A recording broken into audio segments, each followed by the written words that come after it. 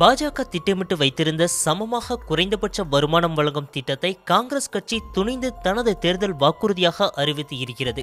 இது பாஜகவிற்கு பின்னடைவாக பார்க்கப்படுகிறது. இரண்டாயிரத்து பத்தொன்பது லோக்சபா தேர்தலுக்கு பின்னர் காங்கிரஸ் ஆட்சிக்கு வந்தால் இந்தியாவில் உள்ள அனைத்து ஏழைகளுக்கும் சமமான குறைந்தபட்ச வருமானம் வழங்கப்படும் என காங்கிரஸ் தலைவர் ராகுல் காந்தி தெரிவித்துள்ளார். இதனை காங்கிரஸ் வாக்குறுதியாக வெளியிட்டு இருக்கிறது. இது தேர்தல் களத்தில் பெரிய பரபரப்பை ஏற்படுத்தி இருக்கிறது.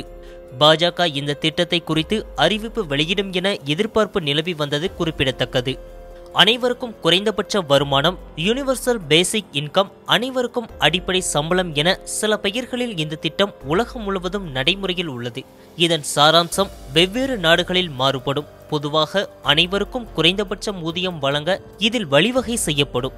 சில நாடுகளில் வேலை பார்க்காதவர்களுக்கும் கூட குறைந்தபட்ச தொகை கொடுக்கப்படும். இதனால் சம்பளம் வாங்காத நபரே இல்லை என்கிற நிலையை உருவாக்க முடியும்.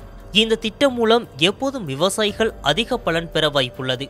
அதாவது விவசாயிகள் வறட்சியில் இருந்தாலும் கூட அவர்களுக்கு குறைந்தபட்ச அடிப்படை சம்பளம் ஒன்று அரசால் வழங்கப்படும். அதுபோல வேலையில்லா பட்டதாரிகளுக்கும் இதனால் பலன் பெறுவர்.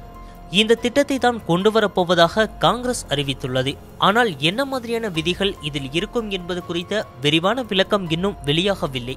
யாருக்கு எல்லாம் இந்த சம்பளம் கிடைக்கும் என காங்கிரஸ் இன்னமும் கூறவில்லை.